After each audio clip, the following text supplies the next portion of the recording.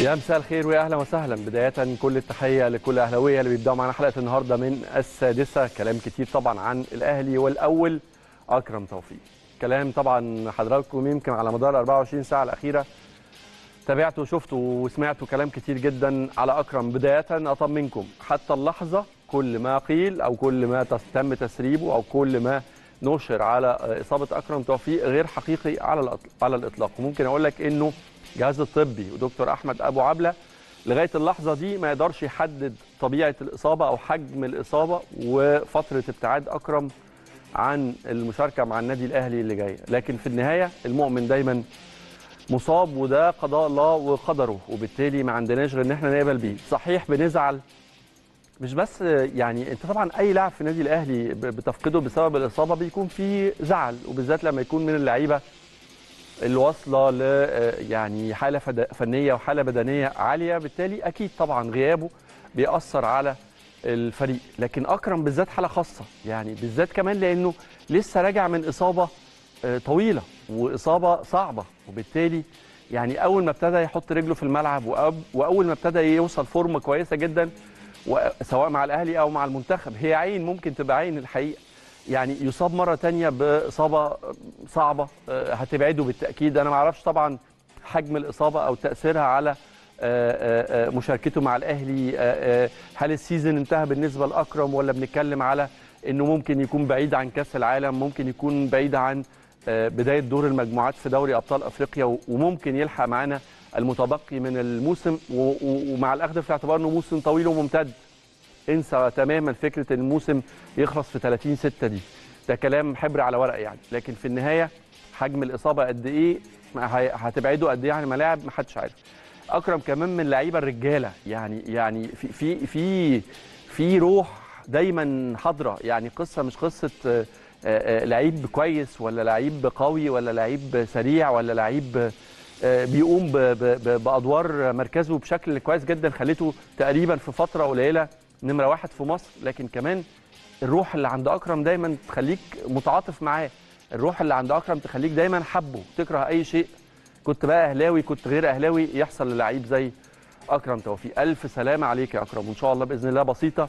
وبرده نراهن على العزيمة وعلى الإرادة وعلى التصميم اللي عندك إنك ترجع دايما أفضل وأحسن من الأول. عندنا كلام كتير جدا بمناسبة النهارده. يعني في حلقة السادسة هنقدم لحضراتكم تواصلنا الحقيقة مع المسؤولين في اوكلاند سيتي أو أولى مواجهات الأهلي. مواجهة من وجهة نظرهم وحسب تصريحاتهم شايفينها مواجهة ثأرية. هي مواجهة طبعا كأس العالم للأندية انطلاقة المشوار. اوكلاند سيتي مش جديد علينا. في مواجهة وحيدة. أنت بتتكلم على أول وثاني أكتر فرق مشاركة في كأس العالم. وكأن الفرقتين دول اوكلاند سيتي ب 10 مشاركات. الأهلي السنة دي إن شاء الله النسخة دي 8 مشاركات. هم زعماء هم اللي مسيطرين على المناطق بتاعتهم. هم اللي مسيطرين على القارات بتاعتهم. لأنه أوكلاند سيتي ب 10 مشاركات الأهلي بثمان مشاركات. ولكن يبقى إنه الأهلي طبعا أفضل انجازا واللي ما يعرفش أو اللي ما يتابعش أوكلاند سيتي خليني أقول لكم إن الفريق ده فاز ببرونزية كأس العالم 2014 وكان المفترض إنه يشارك معانا في نسخة 2020 لكن طبعا في النهاية اعتذروا بسبب انتشار فيروس كورونا والبطولة اتلعبت من غيرهم والأهلي حقق فيها البرونزية. عارفين الأهلي كويس جدا مذاكرين الأهلي كويس جدا حافظين الأهلي وعارفين إنه الفرقة دي وصلت للتتويج أو وصلت لمنصة التتويج وفازت باثنين برونزية على التوالي في مشاركة كأس العالم. فريقهم اللي هيشارك السنة دي فريق جديد تماما يختلف تماما عن آخر مشاركة ليهم. آخر مشاركة ليهم كانت في 2017 بالإضافة طبعا ماتش سموحة تمرينة الأهلي النهارده كل ده هيكون معانا في السادسة. بس قبل ما نبتدي معاكم وندخل في التفاصيل نروح لفاصل ونرجع لحضراتكم. يعني الملاحظات الحقيقة اللي, اللي عكستها اصابه أكرم. واللي شفته على مدار ال 24 ساعة الأخيرة الحقيقة بيقول إنه مش هقول كل لكن في جزء كبير الحقيقة من المناخ الرياضي في مصر الحقيقة مسمم. في حالة من حالات التشوه يعني. على الرغم المفروض إنه الرياضة دي بتحكمها في النهاية المنافسة الشريفة ومفترض إنها إنه الأخلاق الرياضية يعني أو الروح الرياضية تبقى حاضرة في في كل شيء حتى وقت الخسارة. لكن يبدو إن الأمور عندنا بتحصل بالعكس. ويبدو إن كتير من المفاهيم اتلخبطت. ويبدو إنه الكبار اللي في موقع المسؤولية مش مدركين حجم تأثيرهم السلبي على الصغيرين اللي ما تقدرش تحاسبهم. يعني لما تشوف الكبير بيغلط ما تنتظرش من الصغير إنه يمشي على الصراط المستقيم. آه، واحد طبعا يعني يعني أنا مش عارف أسميها إيه لا يعني يعني هي لا من الدين ولا من الأخلاق ولا من حسن التربية إن يبقى في حالة شماتة وحاله فرحة في إصابة أي حد. يعني يعني يعني يعني الشخص ده يعني شخص مريض بجد أو الأشخاص دول ناس مرضى. ناس مرضى بمع... بكل ما تحمله الكلمة دي مش مش استعارة ولا ولا كناية عن شيء دي ده ده ده ده لفظ دقيق جدا. بصف بيه الحالة الناس دي محتاجة تتعالج بجد. الناس بت... دي بتعاني من حالة تشوه واضح وصريح جدا في المفاهيم اللي مش رياضية. أنا بتكلم على حتى الإنسانية يعني مش لازم الرياضة ده في أي شيء في الدنيا الحقيقة. وكلام كتير طبعا واتهامات كتير لكهرباء بأنه السبب في إصابة أكرم توفيق الاصابه حصلت في في ميران عادي وبدون احتكاك أكرم وقع على آه، آه، رجله وده قدر ربنا حتى هو أكرم نفسه. يمكن كان مهتم جدا بتوضيح النقطة دي. يعني حضراتكم زي ما أنتم شايفين ده بوست عملوا آه، أكرم توفيق عشان يعني يبرأ بيه الاتهامات اللي طالت كهرباء على طول كتب فيه زي ما حضراتكم شايفين التويتة دي أو البوست ده. بيقول آه، ده على إنستجرام قال الحمد لله رب العالمين اولا وأخيرا ثانيا في ناس بتقول إنه كهرباء سبب الإصابة. مفيش آه، حاجة مفيش أي التحام بيني وبين كهرباء حصل آه، قدر ربنا آه، والقدر ما فيهوش مفر وأنا طول عمري عارف إن الدنيا دار ابتلاء وأنا راضي باختيارات ربنا والحمد لله رب العالمين وقدر الله ما شاء فعل. ثالثا شكرا لكل الناس اللي سألت عليا وحتى اللي كان نفسه يسأل. أنا قلت لكم في بداية الحلقة حالة أكرم آه، لم يتم تشخيصها ولا تحديد آه، آه، حجم الإصابة وتأثيرها على مشاركته ولا فترة غيابه حتى اللحظة اللي أنا مع حضراتكم فيها على الهواء وكل ح... أي حاجة كل حاجة أنت سمعتها ليس لها أي أساس من الصحة. تعالوا نروح بما طبعا النهارده التمرينه الأخيرة ل... لمباراة بكرة إن شاء الله أمام سموحة مباراة مهمة جدا. تعالوا نروح للنادي الأهلي. زميلنا محمد توفيق موجود هناك وحضر الجزء الأول من المران نطمن منه على أكرم وعلى تطورات إصابته ونطمن منه كمان على الفريق واستعداداته لمواجهة سموحة بكرة إن شاء الله. يا محمد مساء الخير. مساء الخير زميل العزيز أحمد سمير. تحياتي ليكم ولكل مشاهدي قناة النادي الأهلي في كل مكان. أهلا بيك يا محمد. بداية عايز أعرف لو في عندك جديد في من خلال متابعتك لحالة أكرم توفيق إيه حاجة آخر حاجة وصلنا لها؟ يعني تاكيدا لكلامك يا أحمد وعشان كل المشاهدين يكونوا في الصورة وبمنتهى الأمانة أكرم حالا دلوقتي وأنا معاك على الهواء بيجري أشعة رنين مغناطيسي على الركبة اليسرى. طبعا هي ال- الإصابة الأولى كانت في ركبته اليمنى ولكن هذه المرة الإصابة في ركبته اليسرى وهو حالا دلوقتي وأنا معاك على الهواء بيجري أشعة رنين مغناطيسي لبيان مدى إصابته. دكتور أحمد أبو عبلة آه، رئيس الجهاز الطبي الفريق الأول لكرة القدم بالنادي الأهلي أكد لي قال لي مفيش أي معلومة عندي أنا شخصيا. يعني عايز لا أخفيك سرا إن المدير الفني نفسه بك يعني بيقول يعني الناس كلها دي عرفت منين إصابة أكرم وأنا المدير الفني للفريق لسه لغايه ما أعرفش إصابته إيه. يعني الراجل مستغرب جدا إن هو لسه هو بنفسه ما عرفش إصابة أكرم إيه في حين إن كل الناس بتتكلم في كل الوسائل الإعلامية عن إصابة أكرم.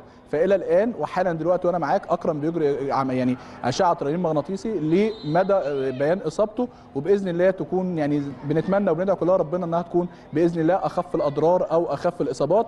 عايز أطمنك بقى على الفريق كله بشكل عام. حالا دلوقتي وأنا معاك الفريق بيختتم خلاص ميرانو بالتقسيمه وهي آخر فقرات الميران. يمكن قبل الميران كان في محاضرة مطولة للجهاز الفني. يمكن على مدار يا أحمد الأيام الماضية كلها كان في محاضرات كتيرة جدا نظرا لاهميه هذه المرحلة من الموسم. الجهاز الفني بيتكلم مع اللاعبين سواء محاضرات فيديو لبيان الأخطاء أو خطط ال- الفرق المنافسة وكمان محاضرات في الملعب عن أهمية هذه المرحلة. كان التدريب ابتدى ببعض الفقرات البدنية ومن بعدها كمان بعض التدريبات بالكرة والخطط إن شاء الله والجمل الفنية اللي هيتم تطبيقها في مباراة غدا بإذن الله أمام سموحة في إطار مباراة الجولة التاسعة على استاد الأهلي في السلام بإذن الله اللي هيبتدي في تمام السابعة مساء. حالة اللاعبين كلها أكثر من رائعة سواء بدنية أو فنية. طبعا باستثناء غياب أكرم توفيق كمان غياب طاهر محمد طاهر اللي بيؤدي برنامجه التأهيلي والعلاجي بشكل أكثر من رائع وكمان بيرسي تاو شغال بشكل كبير جدا وأكثر من رائع في برنامجه التأهيلي وبإذن الله يكونوا قريبا جدا مع الفريق. وبإذن الله كمان يعني خلال ساعات قليلة جدا نطمن على أكرم وبإذن الله يكون زي ما نقول أقل الأضرار وبإذن الله يكون معافى وموجود مع فريقه في أقرب وقت ممكن بإذن الله يا أحمد. كل أجواء هنا رائعة يتبقى فقط يعني زي ما بنقول استعداد أخيرة وكل دعوات جمهور النادي الأهلي الأكرم اولا نطمن عليه وكمان للفريق بكرة بإذن الله وتحقيق ثلاث نقاط جديدة بإذن الله يكونوا دفع الفريق فيما هو قادم من المباراة بإذن الله. يعني باستثناء أكرم وباستثناء بيرسي تاو وباستثناء طاهر قائمة الفريق كلها يعني لاعبي الفريق كلهم شاركوا في تمرينة النهارده يا محمد. بالفعل يا أحمد كل الفريق الحمد لله كل الفريق موجود. كمان يعني زي ما بنشوف على مدار الأيام الماضية كان عمار حمدي موجود في التدريبات. طبعا يعني دخوله لقائمه المباراة أو مشاركته. طبعا ده يرجع للجهاز الفني ولكن زي ما قلت لك باستثناء هذه الثلاث إصابات كل اللاعبين موجودين. طبعا حراس المرمى محمد الشناوي علي لطفي ومصطفى شوبير. وكمان يعني في ظل سياسة كمان مدرب الحراس والجهاز الفني النادي الأهلي وإن كل على طول في موجود يعني عناصر جديدة من قطاع الناشئين بتشارك في تمرين الفريق الأول عشان يكتسبوا الخبرة من الحراس الكبار. موجود النهارده لأول مرة حارس ناشئ من مواليد 2006 عمر كامل موجود النهارده بيشارك مع اللاعبين الكبار في المران زي ما قلت لك باستثناء هؤلاء اللاعبين. كمان مصطفى سعد ميسي يمكن موجود وبيشارك يحاول بالجري حول الملعب. إن شاء الله برده قريبا جدا يكون مع الفريق.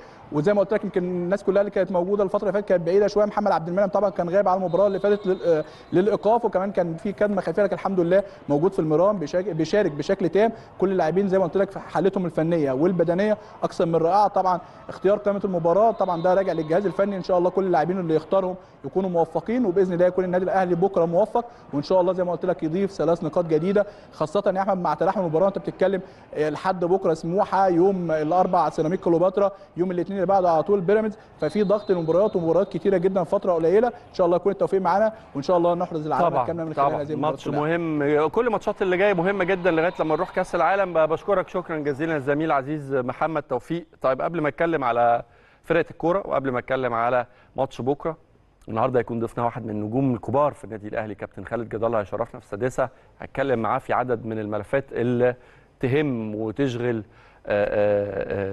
الأهلاوية كلهم. أهمها طبعا الاستعداد لبطولة كأس العالم. إيه المطلوب من الفترة اللي جاية من نجومنا؟ كلهم نجوم. كل الوجوه والأسماء اللي حضراتكم شفتوها نجوم وأي 11 منهم وما تنساش يعني عشان إحنا بننسى بسرعة. ما تنساش إنك أنت رحت كأس العالم السنة اللي فاتت وأنت ناقص نص فرقة. مش مش مش مش لاعب ولا اتنين. وأنت رايح من غير كل اللعيبة الدولية. يعني مش بكلمك على أي فرقة بكلمك على كل اللعيبة الدولية. ما كانوش موجودين معاك ومع ذلك قدمت عروض ولا أفضل ولا أروع وكسبت وتأهلت ولعبت على البرونزية وكسبت الهلال في مباراة الثالث والرابع وحققت ميدالية برونزية جديدة جدا واحدة من الميداليات اشوفها الميداليه الأصعب. يعني أصعب مشاركة للأهلي في مش في مشواره في كأس العالم كان البطولة الأخيرة دي. وبالتالي الحسبة غير. يعني آه ممكن تبقى قلقان شوية من الكرة اللي إحنا بنلعبها من تراجع المستوى في حاجة مش مش مظبوطة. لكن ده الأهلي يا جماعة.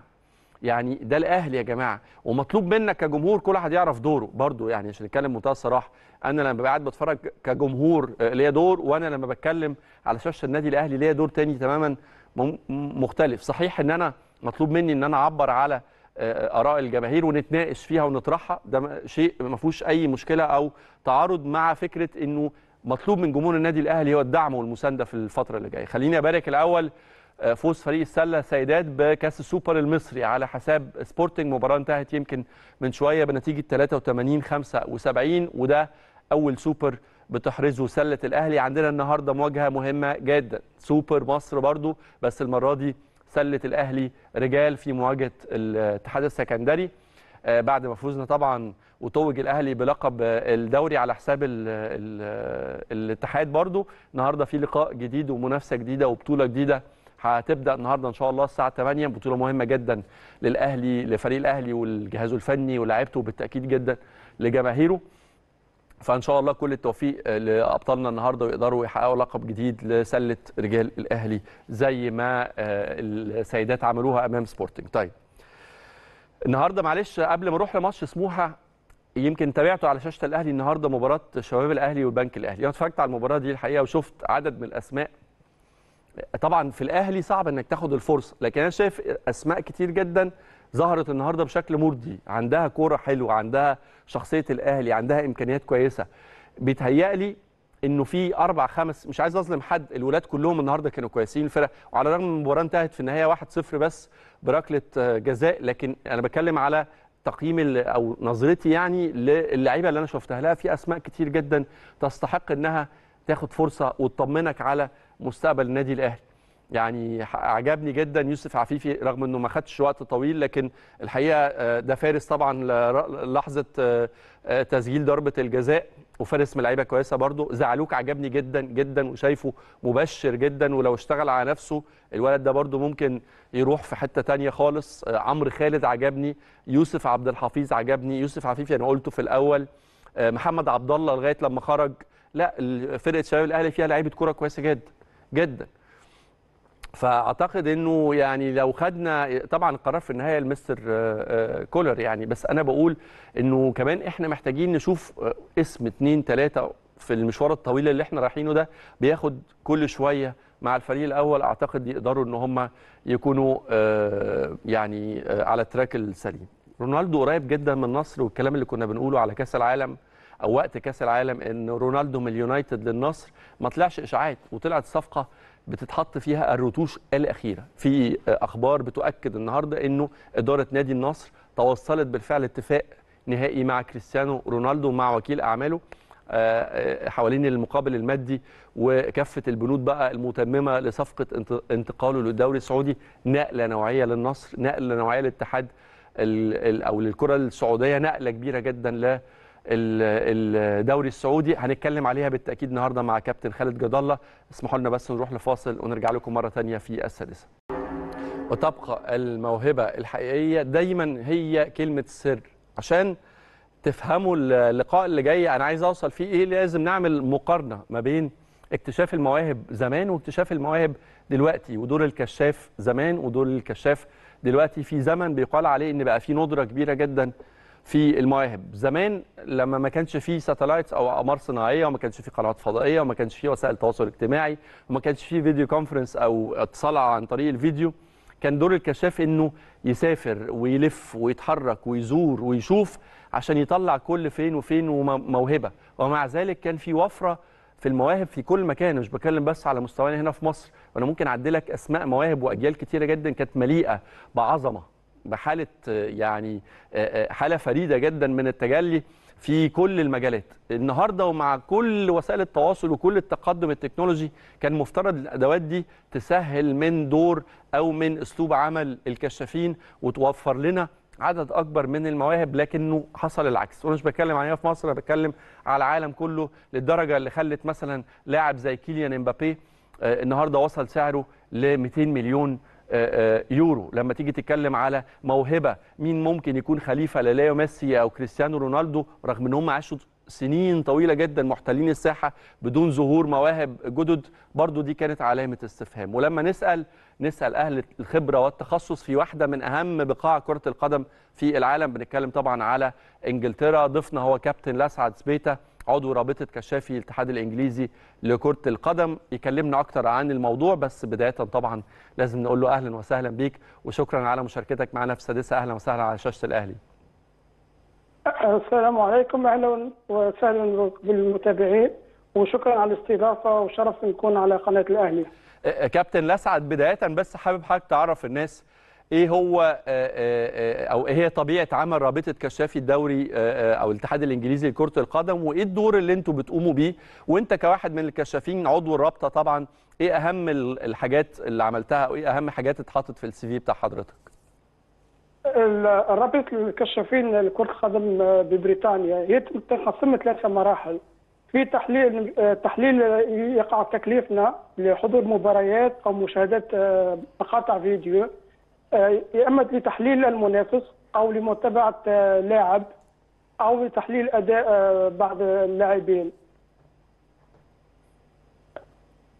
آه، ال- بيقع كل أسبوع نروح نحضر مقابلات كرة قدم يقع مدنا باسم اللاعب متابعته وتحليل تحليل أداؤه تحليله في في مقابلة وتقديم تقرير للفريق اللي كلفنا. دوركم بيبقى مقتصر بس على متابعة ماتشات ال- الاتحاد ال- الإنجليزي أو الاتحادات الكرة البريطانية ولا بيتعدى ده خارج الحدود؟ يعني من الممكن إنكم تستكشفوا مواهب في أفريقيا أو في أمريكا الجنوبية أو في آسيا أو في أي مكان في العالم؟ لا لحد الآن دورنا يقتصر على على البطولات ال- ال- البريطانية الإنجليزية. آه. شفت يعني إزاي؟ يختلف شفت؟ يختلف. دو- دور الكشاف يختلف. أيوة. حسب المراحل السنية. آه هل في رخصة معينة license معينة المفروض انكم بتحصلوا عليها عشان يعني تقوموا بالدور ده؟ أكيد أكيد. آه، في في رخصة آه، عن طريق الاتحاد الإنجليزي والاتحاد الإسكتلندي. كذلك في رخصة عن طريق رابطة كشافية آه، المواهب المواهب ال- ال- اسمها بال English ال PFSA وأي واحد أي إنسان ينجم ياخذ الشهاده دي مش لازم يكون لاعب آه، قديم ولا لاعب ولا لاعب آه، كبير. آه، إنك تكون موهوب إنك تكون تحب آه، تتعلم وعندك الرغبة في التعلم و...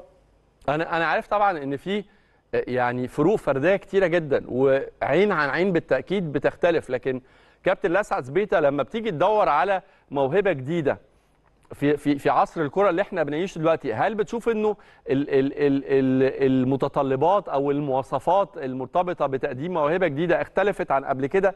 هل حجم المهارة أو يعني المهارة مهارة مهارة كرة القدم ما بقتش بتمثل ال- ال- الجزء الأساسي وبقى في معايير تانية زي مثلا على سبيل المثال يعني القدرات البدنية السرعة القوة الانضباط التكتيكي. يعني ترتب لي كده على أي أساس أنتوا بتقيموا المواهب عشان تقولوا إنه دي موهبة يعني جيدة أو أو موهبة متواضعة مثلا؟ أكيد. هي هو المعنى الحقيقي لعملية اكتشاف المواهب. هي عملية إيجاد لاعبين واعدين للنادي. كلمه مو- مو- موهوب معقدة فالتحدي الأساسي لاكتشاف المواهب هو قابلية اللاعب أو اللاعبين للتطور في المستقبل وتكون عن طريقة علمية صحيحة خاصة مع وجود مجموعة كبيرة من العوامل اللي تأثر في عملية تطوير اللاعب وتقييم اللاعب يكون على في أربع في أربع مراحل، مرحله تكتيكية م- الجانب التكتيكي، الجانب ال- الفني، الجانب الفيزيولوجي وكذلك الجانب النفسي. ليو ميسي مثلا وأندريس إنييستا اتنين من اللع... من أعظم اللعيبة اللي شفناهم في ال 20 سنة الأخيرة في كرة القدم رغم إن هم ما عندهمش مثلا بنية جسدية قوية أو تكوين بدني يعني لا يتمتعوا بأي نوع من أنواع القوة على الإطلاق. لكن كان ما حدش يقدر ينكر إن هم اتنين من أعظم اللعيبة اللي لعبوا على الأقل خلينا نقول في ال 20 سنة الأخيرة. صحيح. هذا في مشكل آه، بالنسبة لل- للعامل معناها ال- السن السن يختلف فمثلا في آه، نجم آه، نشوفه في مثلا في نفس السنة إذا اذا اللاعب مولود في جانفي يختلف عن اللاعب الموجود في ديسمبر. لذا لازم ما نعملوش خلط في الأعمار خلط في البنية الجسدية. فال- فاللاعب في في في- في 10 سنوات أو 11 سنه أكيد مش يتطور بدنيا. آه، في ال- في المرحلة ذيك لازم ناكدوا ونشوفوا ون- تقييمنا يكون على أساس آه، الجانب التقني الجانب الفني وقابليته للتطوير طيب خليني أسألك حاجة ليها علاقة شوية وأنا عارف انك طبعا في أصول تونسية لكن يعني هي حاجة تتعلق باللاعب العربي واللاعب الإفريقي بشكل عام. وبما إنك بتشتغل في إنجلترا فأنت أكيد عارف انه جزء كبير جدا النهارده من المنتخبات الأوروبية منها هولندا منها فرنسا منها مؤخرا ألمانيا مثلا بتعتمد على لاعبين آه، من أصول عربية أو من أصول افريقية وحققت معاهم نجاحات. بل إنه أزيد على ده كمان إنه في لعيبة أفارقة وعرب في السنوات الأخيرة كانوا الأفضل على مستوى دوري زي الدوري الإنجليزي. محدش يقدر ينكر إنه مو صلاح وإنه حكيم زياش وإنه رياض محرز وإنه أشرف حكيمي بقوا من أهم الأسماء للكرة في أوروبا. من وجهة نظرك آه، إزاي نقدر نطور أو إزاي نقدر نترجم الإمكانيات دي الخامات دي بحيث إنه المنتخبات العربية والأفريقية تبقى على نفس القدر ونفس القوة من المنافسة رغم إن إحنا شفنا في كأس العالم طبعا منتخبات نجحت بشكل كبير زي المغرب يعني. آه، أكيد. أول حاجة إن لازم عندنا سؤال. هل وفرنا البيئة لصناعة لاعبين الجد ولاكتشاف هذه المواهب؟ فكل مربوط بسياسه لما عوامل جانبية كسياسة الدولة آه، العوامل سياسة الدولة الوضع الاجتماعي والاقتصادي للاعبين الإطار التعليمي آه، لازم نوفروا آه، اطار إطار تعليمي وإطار تدريبي متوازن. مثلا في بريطانيا ثم آلاف الملاعب وآلاف البنية التحتية وآلاف المدربين والاكاديميات وهذا يسهل إن الأطفال يلعبوا ويتعلموا وهيك نجموا نكتشفوا مواهب جديدة. صحيح. إذا أول حاجة لازم لازم البيئة نوفروا البيئة ونوفروا ال- ال- ال- المدربين. إذا اذا إذا نحبوا على لاعبين آه، متطورين لازم لنا مدربين متطورين. كابتن لسعد زبيتا بشكرك شكرا جزيلا على المشاركة معنا في السادسة. ويبقى موضوع المواهب ده واحد من الموضوعات اللي بتشغلني جدا. يعني لما تيجي تقارن موهبة بحجم مثلا إيرلينج هالاند وكيليان إمبابي مش دول اللي بيقولوا عليهم جايين أو دول اللي هم الأفضل على مستوى الهجوم مثلا على مستوى العالم لما أجي أقارنهم بموهبة وإمكانيات مثلا لعيبة زي آه، آه، رونالدو نازاريو أو زي تيري هنري أو زي دينيس بيركامب لا في فارق كبير في gap يا جماعة. أنتوا يمكن ما شفتوش فما تعرفوش. والمقارنة بتبقى صعبة لأنه طبعا ال- ال- التوقيت اختلف وسائل التدريب اختلفت الكرة اللي بتلعب بيها اختلفت حاجات كتيرة جدا اختلفت. لكن لما تيجي تتكلم على pure موهبة آه موهبة مواهب زمان كانت أفضل بكتير جدا وكان فيها وفرة أكتر بكتير جدا من دلوقتي. خلينا بقى نروح لواحد من الحوارات المهمة اللي أجريناها في السادسة. طبعا كان المفترض ال- ال- ال- ال interview ده يكون آه، live يعني يكون آه، مباشر.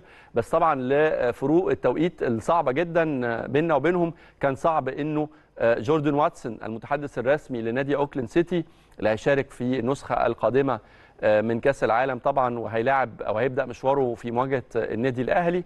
إنه يكون موجود معانا على الهواء فالحقيقة إحنا تواصلنا معاه وبعتنا له مجموعة من الأسئلة المرتبطة بالمواجهة أو ال clash الأول رغم إنه ليس الأول من نوعه. إحنا زي ما قلت لكم في بداية الحلقة قابلنا أوكلاند سيتي قبل كده والمقابلة الوحيدة الرسمية كانت في كأس العالم وفاز بيها الأهلي بنتيجة 2-0 كان مفترض إن ممكن كان يبقى في مواجهة تانية لكن أوكلاند سيتي اعتذر عن المشاركة في البطولة بسبب ظروف الكورونا وفي انتظار المواجهة في 2023 على أرض مغربية. جوردن واتسون المتحدث الرسمي لنادي أوكلاند سيتي كلمنا عن تطلعاته وعن مواجهة الأهلي وعن مشاركة فريق أوكلاند سيتي في آه، كأس العالم. والحقيقة قبل ما نتابع اللقاء والحوار خليني أشكر الزميل العزيز أحمد عصام اللي قام بترجمة اللقاء.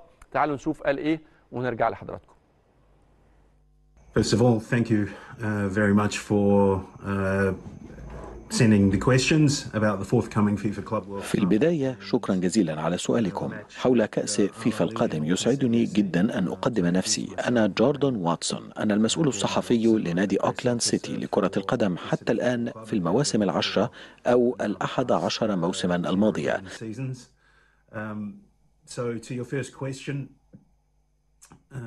لذا بالنسبة إلى سؤالك الأول انظر إلى هذا التأهل المهم لنادي مدينة أوكلاند لكرة القدم.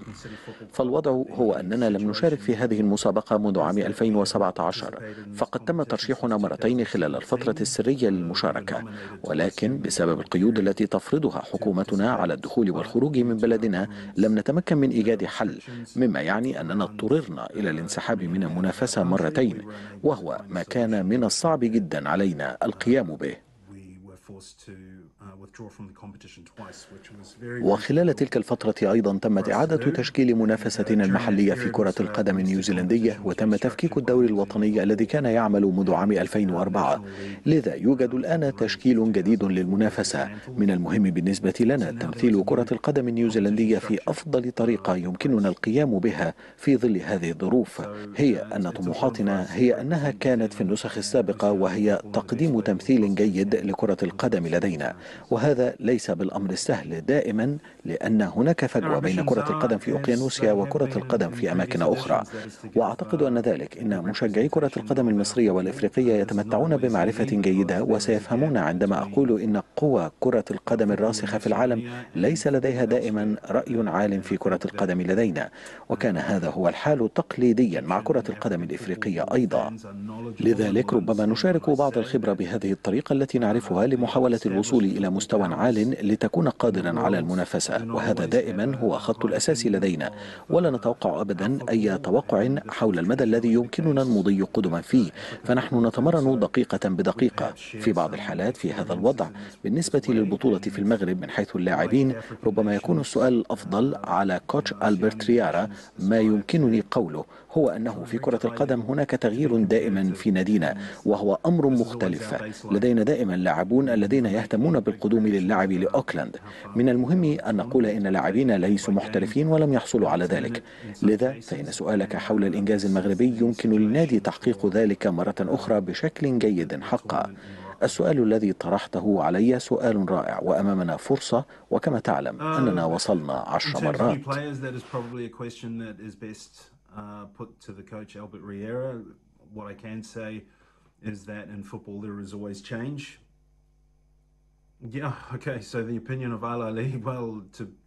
وأما بالنسبة للأهلي فلم لا؟ فقد حقق أكثر من 140 لقبا محليا وإقليميا وعالميا. وكأس العالم للأندية ثلاثا.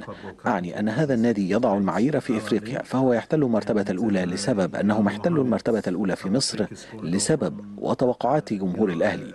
المشجعون دائما مرتفعون بشكل استثنائي. الرأي الحالي لنادي أوكلاند سيتي ليس سوى أنه يجب علينا التفكير بشكل احترافي وعلى أي حال سنبذل قصارى جهدنا وعلينا التخطيط للعب جيدا أمام الفرق الصعبة. فلدينا مباريات في غاية الصعوبة لكن على أي حال نحن نستعد.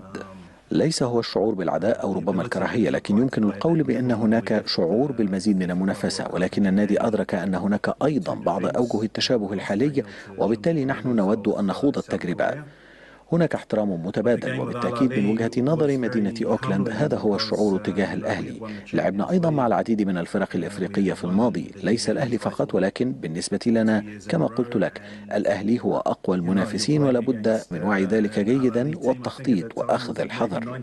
أظن أننا واجهنا قبل ذلك مازيمبا ووفاق سطيف الجزائري. أنتم تنظرون إلى أداء المغرب في العالم الفيفا للوصول إلى نصف النهائي لفهم أن هذا يشبه الأخ الأكبر من نواح كثيرة. انظروا إلى الأهلي الموسم الماضي حيث أنهوا المركز الثاني في مسابقتين وأكملوا كأس العالم للأندية فيفا مرة أخرى. كما شاهدتم والجميع يعلم ذلك أنه كلما شاهدنا فريق الأهلي في موسم به ضعف في الأداء يرجع بقوة في الموسم الذي يليه وكأنه يعيد نفسه من جديد. وأعتقد أن الفريق لم يتغير منذ 2006 نفهم العقلية جيدا ومن نواح كثيرة. نحن أنفسنا كما وضحت في سؤالك أننا لدينا حصلنا على الميدالية البرونزية قبل وحصلنا على عشرة ألقاب لدور الأبطال. ولكن يجب علينا أن نقول إن المستوى الآن أقل مما مضى وأننا بحاجة إلى إعادة ما كنا عليه. ولكن على أي حال يجب أن نضع في اعتبارنا أن المنافسة قوية. أنا حبيت بس إحنا طبعا لعبنا الأرقام دي من شوية بس حبيت أعيدها مرة تانية. لأن ليها علاقة بواحد من المحاور موضوعات يعني اللي أنا عايز أتكلم فيها مع نجمنا النهارده كابتن خالد جد الله اللي بيشرفنا في السادسة. وإحنا كنا لسه بنتكلم على دور الكشافين وأنا كنت لسه بتكلم مع حضراتكم من شوية اللي متابع الحلقة من قبلها من يعني من بدايتها. كنت بتكلم على ماتش الشباب الأهلي النهارده والبنك الأهلي. وقلت الحقيقة إن في كتير في الفرقتين. وقلت بالاسم طبعا في في في, فرقة النادي الأهلي عدد من اللعيبة ال- كتير لفتوا نظري.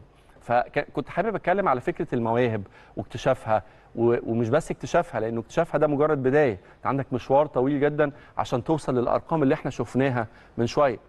الأرقام اللي وصلت فرنسا إنها تتوج بلقب كأس العالم مرتين وتبقى دايما بطل متوقع أو منافس رئيسي في أي بطولة. تجربة خلت الكرة الكرواتية ظاهرة على الساحة بشكل مستمر. وكرواتيا دولة صغيرة لا عندها أندية كبيرة بتنافس في أوروبا ولا عندها نجوم من العيار التقيل ولكن منتخبها الحقيقة أصبح واحد من المنتخبات القوية آه، جدا. كولومبيا آه، هولندا آه، غانا آه، يعني إحنا بنتكلم على عدد من الدول الكبير اللي قدرت وده مش ممكن يجي وليد الصدفة. الأرقام اللي حضراتكم شفتوها دي والطفرات اللي حصلت في عدد المحترفين في الخارج بالتأكيد جت نتيجة استراتيجية وشغل اشت- اشتغلوا عليه أو برنامج عمل اتحط اشتغلوا عليه لمدة سنين طويلة جدا عشان يوصلوا للنتيجة دي لكنها ابدا مش ممكن تيجي بالصدفة.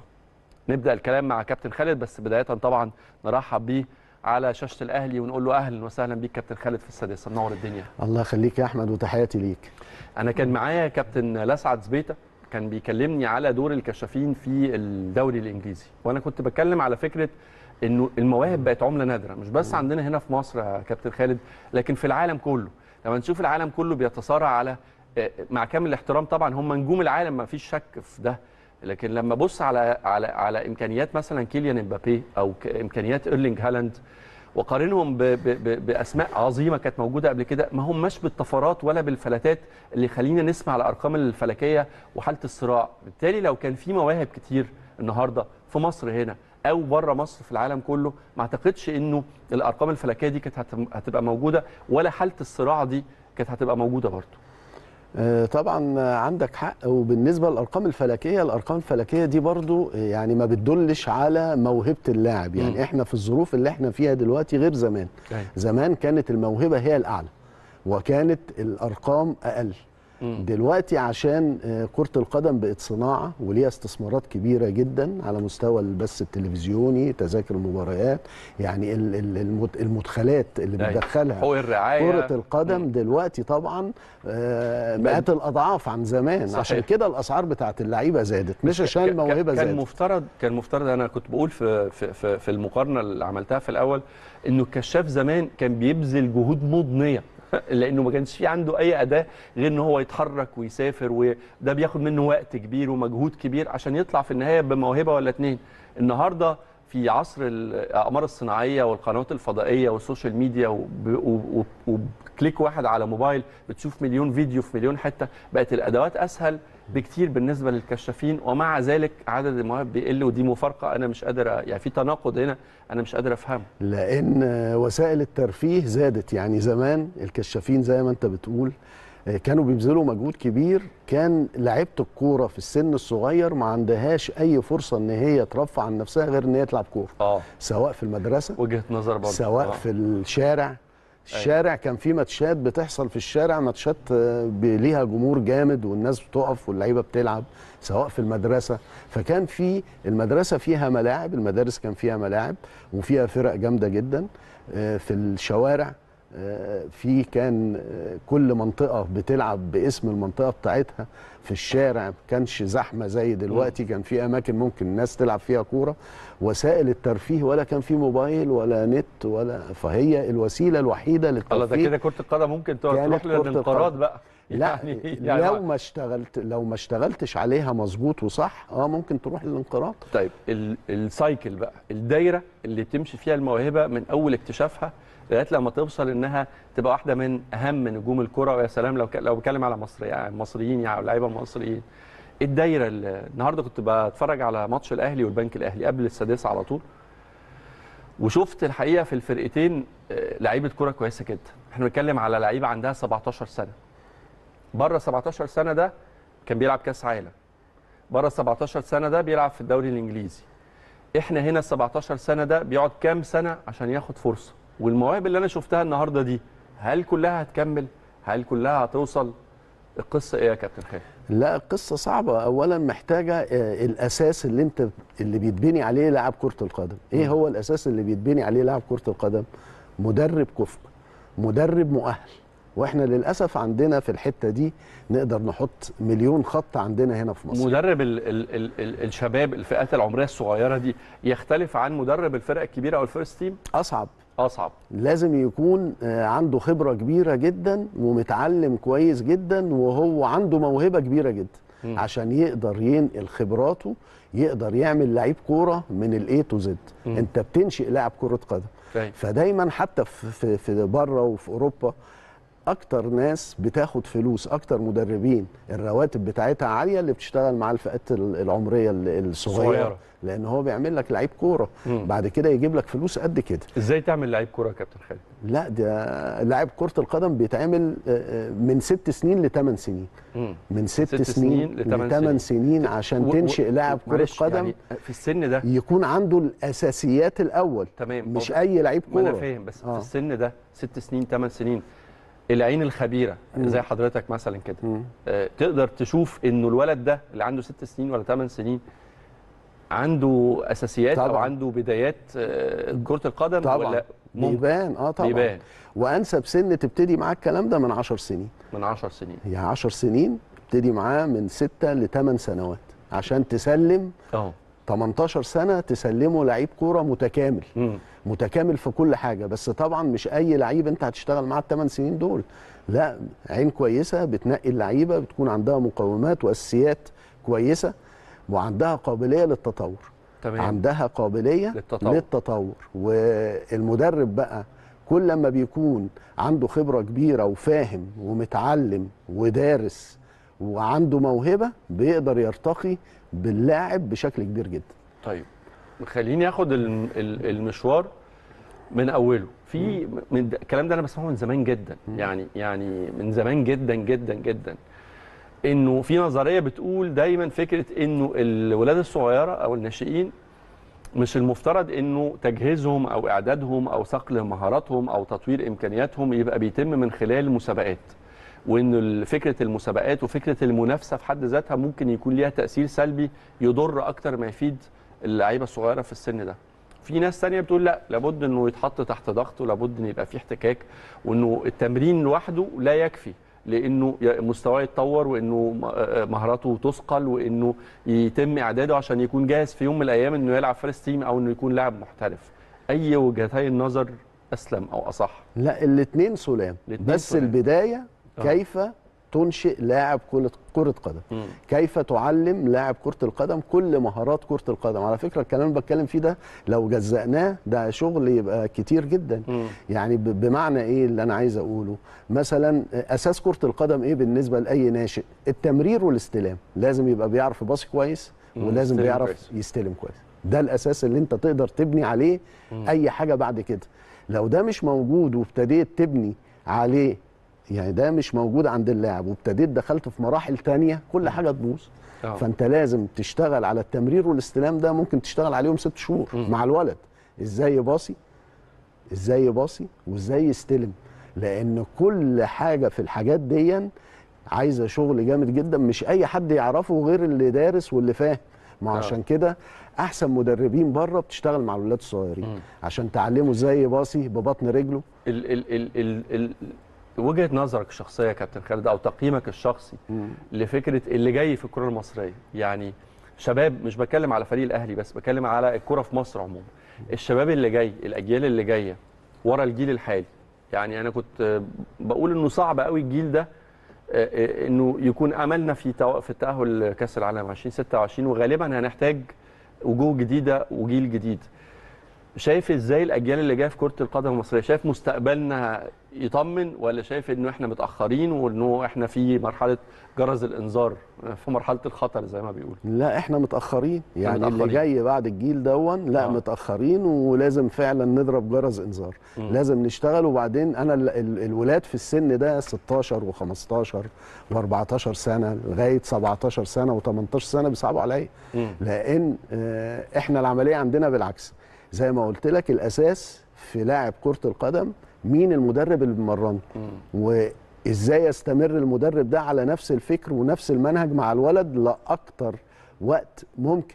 إحنا بيحصل عندنا في قطاعات الناشئين مدرب بيمسك فرقة يشتغل معاها شهرين لعب الدوري يخسر له ماتشين الإدارة تمشيه. أيوة. يجي واحد تاني. كل ده مين اللي بيتظلم فيه؟ لاعب كرة القدم. يعني أنا بستغرب لأنه لما أشوف الخامة دي يعني أنا لما أتكلم أنا مع مش حد خبير بس أنا يعني أنا برضو شفت كتير وأقدر أقيم إلى حد كبير يعني اللعيب ده كويس ولا مش كويس. أنا النهارده شفت في الفرقتين لعيبة كورة كويسة جدا. والسؤال هنا إحنا بقالنا برضو يعني لما نيجي نبص لمسابقة الدوري حضرتك هتلاقي هم مثلا مثلا يعني عندنا 18 فريق بمثلا 540 لاعب منهم تقريبا 400 لاعب هم هم اللي بنشوفهم في الدوري المصري بقالنا 10 سنين. بس هو كل سيزون بيقلع التيشيرت دي يلبس التيشيرت دي. لكن إيه الجديد اللي بيدخل الجديد اللي بيظهر الجديد اللي بنقول عليه فلتة ويلفت الأنظار تقريبا مفيش مفيش. يعني الماتش اللي انت مبسوط بيه بالفرقتين البنك الأهلي والأهلي النهارده فرقة ال 2005 دول آه. مواليد 2005 أيوه 17 إحنا سنة. عندنا منتخب مصر للشباب هيلعب بطولة أفريقيا مواليد 2003 أيوه لو في حد مميز في الفرقتين اللي انت اتفرجت عليهم أو واضح إن هو سابق شوية مم. المفروض إن هو ينضم لمنتخب مصر اللي هو ال 2003 أيوة. الفرقتين ما فيش ولا واحد فيهم, فيهم في المنتخب. مع منتخب الشباب فهم على مستوى المسابقة كويسين نروح لملف الأهلي بس قبل ما نفتح الأهلي وسموحة وقبل ما نتكلم على اللي جاي بالنسبة للأهلي قبل كأس العالم مع كابتن خالد جد الله نروح لفاصل أخير ونرجع لحضراتكم في الفاصل كنت بتكلم مع كابتن خالد بقول له رأيك في المغرب واللي عملته في كأس العالم فما فيش مانع تسمعوا إجابته برضه. أنا سمعتها بس ما فيش مانع نسمع إجابته على الهواء إيه رأيك في المغرب؟ وإيه رأيك في السعودية؟ وإيه رأيك في تونس؟ وإيه رأيك في آه، في في اليابان؟ يعني المنتخبات اللي جاية من بعيد دي يا كابتن خالد ما كانش حد متوقع إنها تعمل حاجة في كأس العالم. إيه رأيك في كرواتيا اللي وصلت مربع ذهبي؟ تاني تاني نسخة من كأس العالم على التوالي. فرق جامدة وفرق بتلعب كرة حديثة. إحنا يمكن من الفرق اللي أنت يعني أكتر فرقة تشبهنا شوية تونس اللي. تشبه إنما الفرقة الثانية لا سبقانا ب 30 40 سنة. مم. حتى السعودية. يعني الكرة اللي بتلعبها السعودية والمغرب إحنا ما نقدرش نلعبها.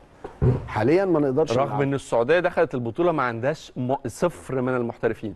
بس السعودية عملت إيه؟ مدرب هايل جابوه استقروا عليه سابوه. على فكرة السعودية قبل كأس العالم لعبوا حوالي 10 ماتشات ودية خسروهم كلهم. كان ممكن أي ناس مش فاهمة لو الناس مش فاهمة كانوا. مشوا المدرب. آه. لا لا لا بيشتغلوا شغل مظبوط. عندهم آه، خطة طويلة ال- الأمد بيفهموا بي- بيقيموا الناس كويس. إحنا مشكلتنا هنا في مصر ما بنعرفش نقيم الناس. اللي بيشتغل ما حدش بيقيمه. يعني دي مشكلة. انت لازم بتشغل ناس لازم بتقيمها المفروض. في نظام رخص وفي دورات تدريبية في وفي امتحانات عشان للأسف المدربين مش موجودة دلوقتي مش. عندنا في مصر. لا لا لا. بس موجودة في كل حتى حتة في. الرخص حتى الرخص اللي كان بيعملها الاتحاد الأفريقي يعني أيوة. يمكن معلومة أنا أقولها لك يمكن أول مرة أنت في آسيا مش معترف بيها آه. يعني مدربينا اللي معاهم رخص اللي هي ال C وال B وال A اللي كانت طالعة من الاتحاد الأفريقي لما يروح يشتغل بيها في الخليج في الخليج مش معترفين بيها آه. بيعترفوا من ال- اللي بتطلع من الاتحاد الآسيوي مم. ودي برضو نقطة نقف عندها لأن هي برضو مش بحكاية الرخص والشهادات و... لأن ممكن الشهادات بتتاخد والامتحانات ب... أي يعني أنا مش عايز أخوض في ال... في, ال... في القصة دي آه إنما آه يعني إيه الشهادات بتتاخد والامتحانات بت... يعني أي حد آه. بيخش دورة أي حد بياخد آه شهادة. عايز شهادة. سهل يعني تاخد أنا شهادة. هقول لك حاجة أحمد أنا سنة آه، 96 97 رحت ألمانيا آه، أخدت آه، دورة كان دورة تدريبية اللي هي لايبزيج. لايبزيج دي 8 شهور. مم. كان شوقي غريب معايا. رحت أنا أيوة. وشوقي غريب كانت مصر بعتانا على أساس نرجع نشتغل في المنتخبات بتاعت مصر. قعدنا 8 شهور دورة تدريبية مدتها 8 شهور مم. كان في ولد آه، يعني. معانا آه معانا من المغرب كان اسمه عبد اللطيف كان صاحبي جدا وجينا في الامتحانات الامتحانات شفوي مم. يعني انت بتقعد انت والدكتور وفي مترجم أيوة. مفيش تحريري وحد يبص وحد أيوه اديني إجابة السؤال آه، رقم الحاجات اللي هي بتاعتنا دي آه. ال- الإجابات كلها شفوي الامتحان شفوي فالولد عبد اللطيف ده آه، سقط في. مادة التدريب الرياضي. فالدكتورة بتاع التدريب الرياضي آه، أنا كنت جايب فيها امتياز. فهو طلب مني أروح أكلمها بحيث قال لي يعني مش معقولة 8 شهور أتغرب عن بلدي وأرجع وما أخدش شهادة. فرحت قلت لها يعني مش معقولة. قالت لي بص أنا اعمل له كل حاجة. ممكن أستضيفه عندي يقعد في ألمانيا إنما أديله شهادة وهو ما يستحقهاش. يروح يعلم الولاد غلط أنا ما أقدرش ما كانتش. بقت ألمانيا ألمانيا. بالظبط. ما كانتش بقت ألمانيا ألمانيا. هو ده ال- الفرق إن مش حكاية إن أنا أتعلم لا أتعلم مظبوط. أيوه. بس. نروح للأهلي. عندنا ملفات كتيرة يا كابتن خالد. أهمهم طبعا فترة ما بعد التوقف. يعني الأهلي الحقيقة ابتدى الموسم وأنت يمكن كنت ضيف علينا هنا واتكلمنا بعد ماتشين بتوع الاتحاد المنستيري. كويسة وقلنا إنه في. حاجة في حالة. في شكل وفي أداء وفي روح وفي قوة وفي سرعة وفي مهارة وفي سكور وفي علامة كاملة.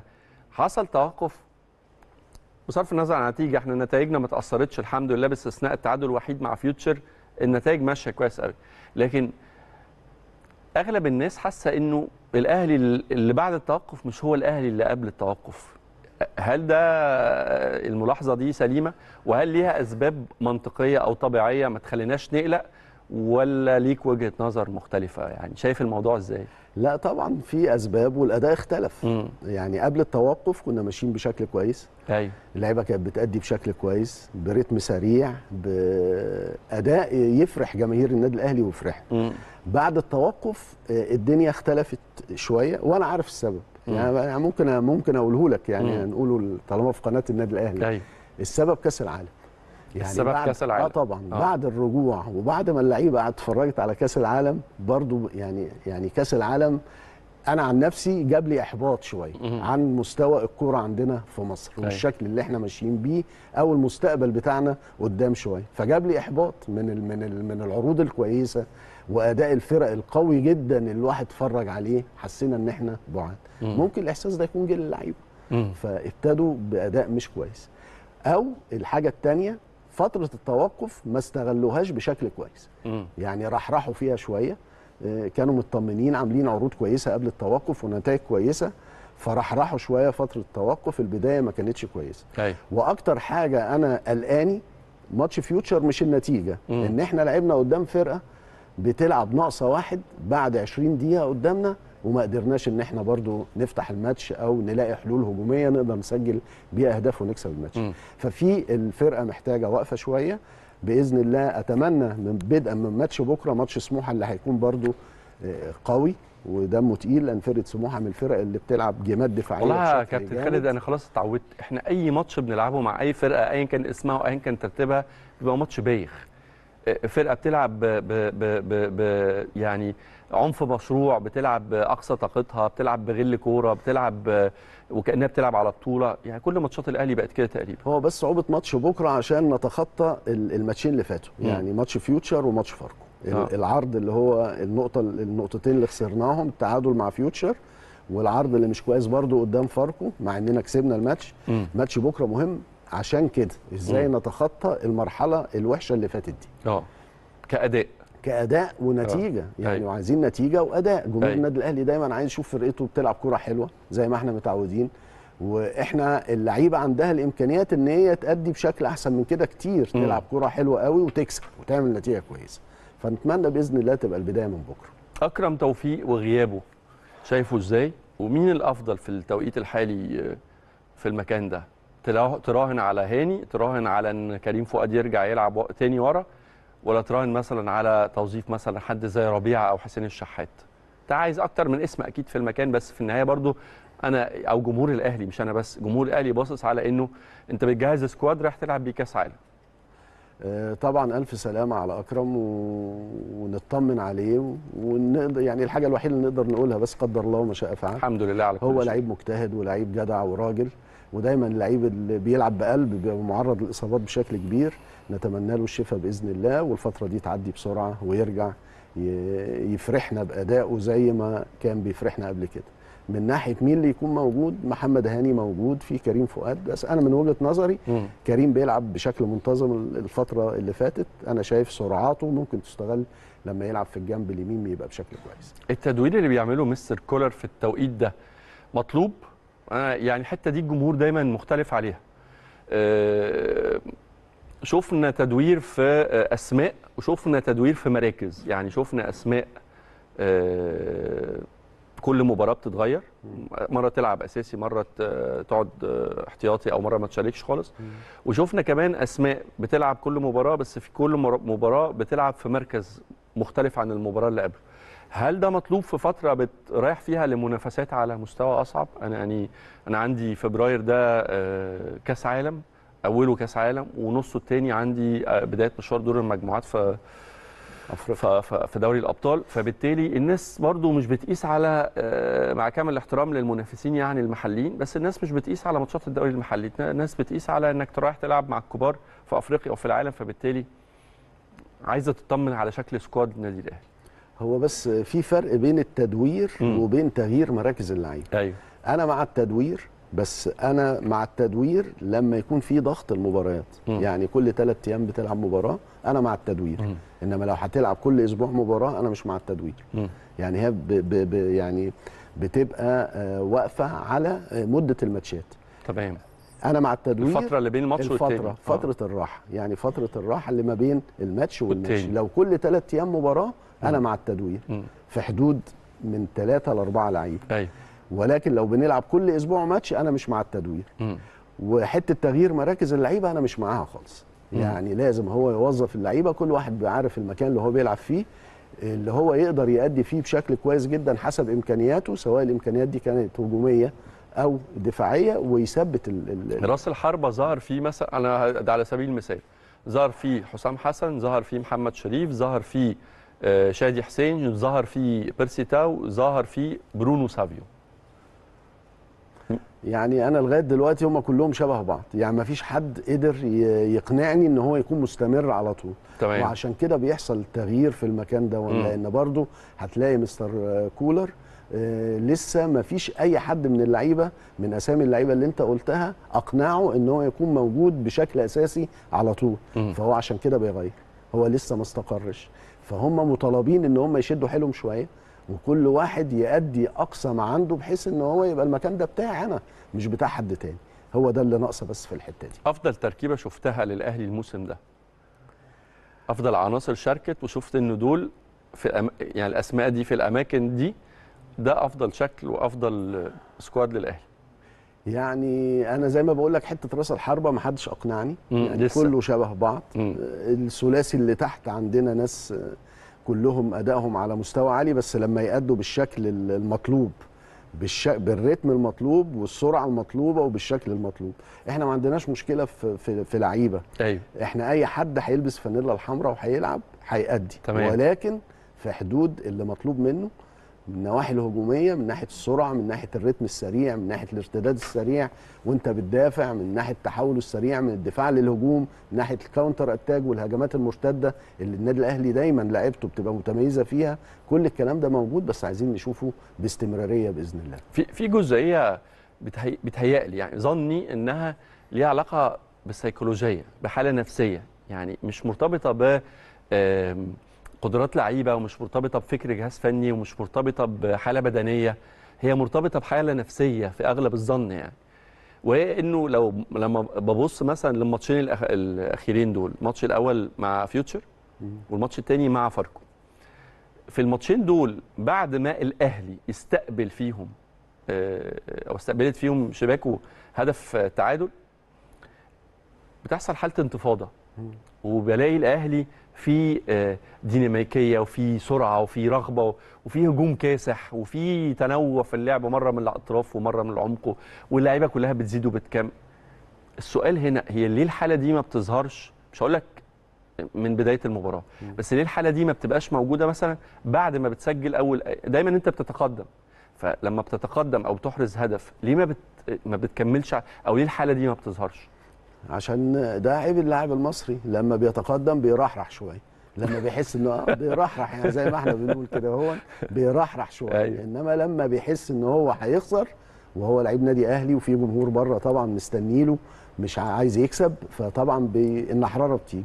ولكن هو تعود وهي بس- حتة بس- نفسية بس- مهمة بس- جدا. بس بس هم مك... يعني هي نفس اللعيبة دي ما كانتش كده يعني حتى لو مش هقول لك السنين اللي فاتت ومش هقول لك آه، حتى اللعيبة دي ما كانتش كده مثلا في كأس السوبر آه. حتى اللعيبة دي ما كانتش كده في الاتحاد المنستيري هنا في القاهرة مم. آه، آه، يعني في ماتشات كتير ال season ده نفس ال season ده كانت 90 دقيقة بتبقى قاعد مبسوط وأنت شايف الفريق كده آه، أنا مبسوط والدنيا 10 على 10 مم. ل- ليه ليه الحالة دي لأنه الحالة دي بت... معلش أنا. آسف بس يعني الحالة دي تفكر شوية الناس. بالموسمين الأخيرين أو الأجزاء الأخيرة أو الأشواط الأخيرة من الموسمين الأخيرين. الحالة دي آه، حلها إن اللعيبة آه، ممكن تكون بتفكر في بعض ماتشات في الدوري المصري هم بيستهونوا بيها. بيبقوا عارفين إن هم هينزلوا يكسبوا. يعني الفرقة اللي قدامهم مش تقدر تكسبهم وإحنا هننزل نكسب كده كده. ففي ظروف بتحصل الدنيا لما بتتقلب هم بقى من هنا بي يعني بيبتدوا يشدوا حيلهم شوية. فهم لازم بالنسبة لعيبة النادي الأهلي عشان إحنا لازم نتعلم من السنتين اللي فاتوا إحنا أيوة. الدوري راح مننا إحنا كنا متقدمين في السنتين اللي فاتوا كنا. بعدد كبير حتى من النقاط وبعدين ابتدت النقاط تهرب مننا واحدة واحدة مش عايزين الإحساس ده يجي لنا إحنا عايزين كل ماتش نلعبه بالذات في المسابقة المحلية وفي أفريقيا وفي كأس العالم وإحنا نازلين لعيبتنا تبقى عارفة إن إحنا خسرانين 1-0 يعني هم لو حطوا في دماغهم إن إحنا خسرانين من من قبل بداية المباراة هيبتدوا الماتش بشكل كويس. شايف الميركاتو اللي جاي إزاي؟ وإيه هي ال- الطريقة الأنسب والأمثل لاستغلالها عشان تحضر فرقتك لل... أنا بشوف إنه الموسم لسه يعني الموسم ما ابتداش. كل اللي فات ده مجرد مقدمات أو لسه بنسخن. بدري لكن يعني. الصعب الصعب كله والإجهاد كله وتلاحم المباريات والسفر وال... والعودة وال... ودوري أبطال وكأس عالم كل ده لسه ما, جا... ما ابتداش. فالميركاتو اللي فاضل الفرصة الأخيرة أو الميركاتو الشتوي ده إزاي تستغله بأفضل شكل يا كابتن خالد؟ إحنا محتاجين آه، تدعيم في في بعض المراكز. يعني مم. تدينا قوة بشكل كبير وتدينا تقل أكتر من كده لأن أنت مطالب فرقة النادي الأهلي مطالبة في كل بطولة بتلعبها إن هي تكسبها. أيوه. فأنت محتاج إن أنت تقوي نفسك في بعض المراكز. ومن وجهة نظري إحنا محتاجين راس حربة. طب خليني أقول لك لو هدف مثلا لو أنا هحط بالهدف يعني. أنا هدفي مثلا إن أنا أوصل final كأس عالم اللي جاي. في في المغرب في أرض الوداد اللي غالبا أنا هقابله تاني غالبا يعني إن شاء الله لو تجاوزت أوكلاند سيتي هقابله تاني. فشايف شايف معانا فلامينجو السنة دي من أمريكا الجنوبية الهلال من السعودية ريال مدريد من أوروبا. لو أنا عايز أوصل مباراة نهائية ألعب final يعني إيه إيه شكل وحجم الصفقات اللي ممكن الأهلي يكون محتاجها كتدعيم للفريق؟ محتاجين راس حربة مم. بشكل مختلف ب style مختلف عن اللي موجود. يعني راس حربة قوي سريع يقدر يكون محطة لأن إحنا عندنا لعيبة الكرة اللي بتيجي من تحت عندنا لعيبة كتير كويسين بيقدروا يجوا من تحت. محتاجين حد يسندوا عليه زي ما إحنا بنقول بلغة الكورة حد يسندوا عليه من وهم جايين بالكورة. فإحنا محتاجين راس حربة قوي سريع بيقدر يحرز أهداف بيتحرك جوه منطقة الجزاء بيستغل الفرص. يعني بشكل مختلف عن اللعيبة اللي موجودة عن يعني مش زي محمد شريف ومش زي شادي مش زي حسام حسن حاجة أقوى كده جسمانيا يبقى قوي مم. سريع زي ما بقول لك نقدر نستخدمه كمحطة على أساس نستغل الناس لعيبة الكره الكويسين اللي بيجوا من نص الملعب من تحت لقدام ومحتاجين مساك يكون موجود مع الناس اللي موجودة المساكين بس كده أنا أعتقد إن إن يدونا تقل ونقدر مش محتاج الاهلي. صفقات أكتر من كده لا، شايف إنه صفقتين دول أو المركزين دول لو جداً. اتدعموا آه مهمين مش جدا. محتاجين محتاجين مساك مش بالضرورة أنا مش بتكلم على مح- على محترفين أجانب يعني يعني أنا أقصد أقول ممكن جدا يبقوا يبقوا لو لقيت من خلال مصر يعني من الدوري هو أو من الأكيد الأكيد إنه في أجنبي راس حربة طب كويس. فوق يعني زي السن. ما أنا بقول. آه ده أكيد ده أكيد. لكن بس أنا أتمنى يكون مختلف آه. في ستايله ما, ما يعني تفكرش مثلا الباكين اليمين والشمال تفكر تدعم عندنا. آه عندنا. عندنا عندنا. آه. يعني م- م- ممكن يعني بعد إصابة- بس مش مش مش مش مهم قوي. مش مهم قوي. إنما المهم قوي راس حربة وزي ما بقول لك ب style مختلف جسمانيا يكون قوي مم. سريع يقدر يفتح مساحات رأي كابتن. خالد إنه الباكين عندنا الظاهرين اليمين والشمال مش مش بشكل ما, لا. الأجنحة جناحين اليمين والشمال هل المراكز دي محتاجة لا دعم عندنا برضه عندنا برضو مش. محتاجين آه. دعم آه. في حد لفت نظرك في ال في ال في الدوري المصري يعني لو قلنا مساك وراس حربة لا راس حربة لا مفيش حد ما فيش لازم آه. يكون أجنبي ولازم يكون يعني آه.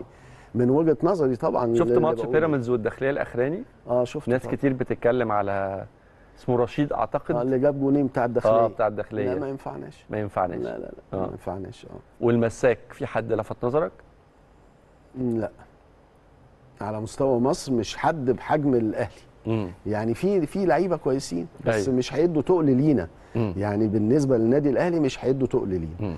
أنا شايف راس حربة لازم يكون محترف أيوة. من بره وأتمنى يكون بالمواصفات اللي أنا بقول عليها. طيب أقل من من من من شهر تقريبا. يعني أعتقد إنه الاهلي هيسافر في أواخر يناير للمغرب عشان يبتدي يحضر لل- للبطولة. فأنت بتتكلم على شهر.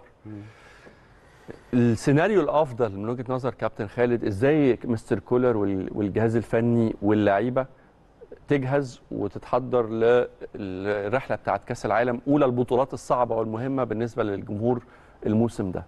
آه، من خلال مباريات الدوري. آه أداء كويس ونتائج كويسه يعني كل الماتشات اللي هنلعبها قبل السفر من خلال البطولة المحلية اللي هي بطولة أيوة. الدوري لازم نأدي نعمل نتيجة كويسة عشان تدي ثقة كويسة وفي نفس الوقت أداء عالي. لأن أنت هتروح هناك هتقابل فرق آه، مستواها أعلى من الدوري من الفرق اللي موجودة في الدوري المصري عندنا. مم. مش عايزين نتعود على الريتم رتم اللعب. بتاع الدوري المصري. يعني اللعيبة تبتدي تأهل نفسيها من دلوقتي بدءا من بكرة إزاي العب بسرعة؟ عشان لما أروح ألعب في, كأس العالم للأندية قدام فرق بتلعب بسرعة ما يبقاش إن أنا متأخر هو. هو هي هي الفكرة إن أنا يعني هو بالتأكيد طبعا كل ماتش الأهلي عايز يكسب واللعيبة عايزة تكسب والجهاز الفني ومن وراهم الجمهور. لكن هي الفكرة مش فكرة المكسب. أنا ممكن أكسب واحد واثنين وثلاثة بس الأداء ما فيهوش جديد. أو إنه الأداء ده آه، اللي أنا بلعب بيه وبكسب فيه وبعمل score في الدوري المصري ممكن لما أروح ألعب بيه في كأس العالم أو ألعب فيه في دوري الأبطال مع القطن ومع سان داونز ومع الهلال ما يبقاش هو الأداء اللي يخليني برضو أوصل أو أحافظ على فرصتي في الفوز باللقب.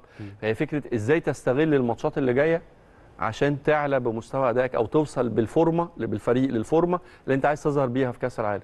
ما أنا زي ما قلت هما حاجتين مهم جدا ان إحنا اللعيبة كل الماتشات اللي هيلعبوها في مسابقة الدوري نكسبها وفي نفس الوقت الأداء يبقى على مستوى عالي أيوة. أنا اللي بقصده بالأداء يبقى على مستوى عالي إيه أنا أهم حاجة يعني بقف عندها وتهمني رتم اللعب. أنا لما بتفرج على رتم اللعب بتاعنا من خلال الفرق حتى كلها مش إحنا بس مش بتكلم على في الدوري آه، المصري دوري. رتم التروت والجري الخفي ده ما بقاش مش موجود في الكورة. فأنا خايف من دي أنا عايزهم يتعودوا على رتم اللعب اللي بسرعة هم مش هيلاقوا فرقة قدامنا هتلعب بسرعة إحنا أيوة. نلعب بسرعة مم. عشان يتعود على الرتم ده عشان لما نروح هناك ونلاقي الفرق بتلعب هو السريع البسرعة ده كابتن خالد ليه شروط برضو ولا إيه؟ بسرعة مش السرعه. ده يعني ليه أصل في واحد السرعة- طبعا في فرق بين السرعة والتسرع لا، دي, آه طبعاً. دي حاجة ودي حاجة اتنين السرعة دي محتاجة آه، مساحات مفتوحة محتاجة فرقتين بيلعبوا كورة محتاج فريق بيهاجم عشان فريق يعمل counter attack والعكس الصحيح لكن أنت أغلب السيناريوهات اللي بتشوفها فرقة حاطة ال 11 لعيب في الصندوق وبتدافع لغاية لما الأهلي يسجل بعد كده يفكروا يتحركوا وبالتالي بعد كده يبقى في game مفتوح وفي مساحات نقدر نجري فيها ونعمل فيها الشغل على. فكرة أنا لما بقول كلمة سرعة السرعة مش هي سرعة الجري آه سرعة التصرف مم. يعني الدوري الإنجليزي مثلا أنت لو حسبت الكورة بتقعد في رجل اللعيب أي لعيب في أي فرقة في. الدوري الإنجليزي قد إيه هتلاقيها من 3 ل 4 ثواني ثانيتين أيوة. ثلاث ثواني. يبقى أنا هنا أقصد بإيه الكورة جت التوقيفة بسرعة والباس بسرعة مم. والتحرك بعد كده من غير كوره بسرعة مم. مش سرعة إن أنا هفضل أجري إحنا مش أيوة. هنبقى في ألعاب قوة لا مم. سرعة التفكير سرعة أيوة. التصرف ما كل دي تقصد سرعة سرعة الإيقاع وسرعة ال... بالظبط أيوة. كده سرعة سرعة, الإيقاع. الإيقاع. سرعة الحركة سرعة التصرف سرعة اتخاذ القرار ما كل دي سرعة. ما أنا مش عايزهم بقى يواجهوا الكلام ده يعني نفضل في الدوري المصري على مهلنا شوية في التروت. ونروح مرة والحاجة- واحدة نلاقي نلاقي الناس نفسنا. بقى صواريخ من حواليك ما تقدرش تجري بس الأهلي برضو ودي نقطة تانية برضو لازم تبقى مح- محل اعتبار إنه أنت لما بتلعب في مسابقات يعني أنا بفتكر كنت بقول في أول حلقة مع إصابة أكرم والناس زعلانة انه أكرم مش هيلعب كأس عالم. ورقة مهمة ولعيب مؤثر ولعيب عنده روح فانيلا حمراء بجد يعني. طبعا. فخسارته في بطولة زي كده وجع الناس بصراحة. آه، آه، آه، لكن أنا كنت بقول إنه الأهلي راح السنة اللي فاتت من غير نص الفرقة. كل اللعيبة الدولية ما كانتش موجودة معاه ومع ذلك ظهر بشكل فاجئنا إحنا كأهلاوية. عملوا ماتشات هايلة. جدا. يعني أنت لعبت مع. مونتري المكسيكي ده وأنت ناقص آه، مدرعاتك ودباباتك كلهم. كانوا بيلعبوا في أفريقيا أيوة. ومع ذلك لعبت game كويس وكسبت أيوه وبعد شوية لعبت الهلال المدرع بعدد من الصفقات اللي جاية قبل البطولة حاجة كده ب... عملت عرض هايل عملت واحدة من. أجمل الماتشات اللي. لعبتها في حياتك طبعا فبالتالي في وقت من الأوقات برضو مستوى المنافسة أعتقد بيشحن بطاريات ما أعرفش يعني آه ممكن طبعاً. بي- بيخلي مستوى طبيعي أو اهتمام اللعيبة أو تركيز اللعيبة بيزيد ده برضو واحد من الحاجات اللي بتتاخد في الاعتبار لا طبعا بيزيد بنسبة 40% يعني أيوة. أنت لما هتلعب في بطولة كبيرة زي كأس عالم الأندية قدام فرق جامدة مستوى اللعيبة هيرتقي بنسبة 40% لوحده.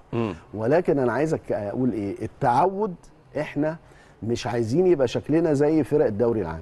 آه. واللي هيفرق دايما شكلنا عن فرق الدوري العام هو رتم اللعب اللي إحنا نستطيع إنه إحنا نسرع أي مباراة زي ما إحنا عايزين. سؤالي المهم برضو لحضرتك فيما يتعلق بطريقة اللعب وطبعا يعني أنا متأكد مليون في المية وأبصم بالعشرة إنه الأمر ده حرية مطلقة للمدير الفني. لكن في النهاية إحنا بنتكلم كورة. فأنا بسأل كابتن خالد لأن أنا شفت الطريقة دي كنت بنادي بيها وكنت بشوف السيتي بيلعب بيها كورة ممتعة جدا خصوصا الفرق الثقيله اللي عايزة تحقق لقب أو اللي عايزة مكسب كل مباراة أو اللي بتلعب على بطولة دايما. دايما ما بتبقاش مش مهتمة بالناحية الدفاعية لكن بيبقى مهتمة بالناحية الهجومية أكتر شوية. 4 1 4 1 وظهرت في كأس العالم مع أكتر من فريق طريقه هجومية جدا آه، بتخلي الفريق آه، يعني اللي بيلعب بيها لما بيبقى حافظها ومتعود عليها آه، ليه شكل هجومي ليه سيطرة واستحواذ بشكل معين بيبقى مالك الكرة في الملعب بشكل كبير هو اللي بيقدر يبقى الفعل والفريق اللي بيلعب ضده دايما رد الفعل. رأيك فيها وهل الطريقة دي تصلح خلينا نقول على مستوى الدوري سيبك من أفريقيا وسيبك من كأس العالم على مستوى الدوري ولا من الصعب إنك أنت تبقى حافظ طريقة في الدوري تغيرها لما تروح تلعب في بطولة زي بطولة دوري الأبطال تغيرها تاني لما تروح تلعب في بطولة زي كأس العالم. لا هو مش صعب إن أنت تغير الطريقة لأن من من وظيفة أو من مسؤوليات وواجبات المدير الفني إن هو ثلاث أربع طرق اللعب اللي هم الفرقة آه، ممكن تلعبهم بيمرن اللعيبة عليهم. بحيث إن هو حسب المنافس اللي هيلعب قدامه لو هيحتاج إن هو يغير طريقة اللعب تبقى اللعيبة متعودة عليها أيوة. فده شغل فني من خلال وحدات تدريبية لازم أي مدير فني مم. بيشتغل عليه مش طب رأيك في 4 1 4 1 وهل تصلح أو هل ممكن تبقى مناسبة للأهلي في ال- في الدوري المصري الدوري المصري؟ آه ممكن ممكن. مفيش أي مشكلة آه. طبعا مفيش أي مشكلة على مستوى الدوري المصري مفيش أي مشاكل مم. يعني ما عندناش أي مشاكل لأن إحنا نمتلك ال- اللعيبة ال- اللي هي ال- ال- الأقوى والأحسن والأكفأ من كل النواحي أيوة. فأنت من أي مدير فني يقدر يشكل بقى العجينة اللي موجودة قدامه دي بأي طريقة هو عايز رسالتك لنجومنا قبل ماتش بكرة إن شاء الله قبل مواجهة ربنا يكرمهم ويوفقهم وأنا عايزهم نفسي أتفرج من أول دقيقة تكون لينا إحنا الكلمة العليا ويكون رتمنا سريع في التحرك في التصرف في استثمار الفرص مفيش فرصة تيجي وتضيع. لأن إحنا كل ما هنجيب جون بدري الماتش هيتفتح ويبقى صحيح. ماتش بكرة مش ماتش في الدوري ومش ماتش بثلاثة point. ماتش بكرة كمان رسالة من رجالة الأهلي وفريق الأهلي لجمهوره بيقول لهم اطمنوا إحنا جاهزين لكل اللي جاي مهما كان صعب. حتى لو كان على مستوى المشاركة في كأس العالم مع أبطال القارات أو حتى على مستوى دوري الأبطال وتحقيق حلم البطولة الأفريقية. بشكركم على المتابعة وأشكر كابتن خالد على وجوده معانا. نورت يعني. الدنيا يا كابتن شكراً خالد. ونتقابل دايما على كل خير في السادسة. تحياتي ليكم.